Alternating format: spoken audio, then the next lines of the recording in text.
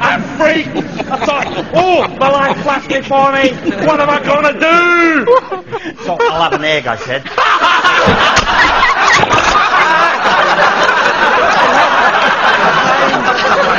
We got the chicken.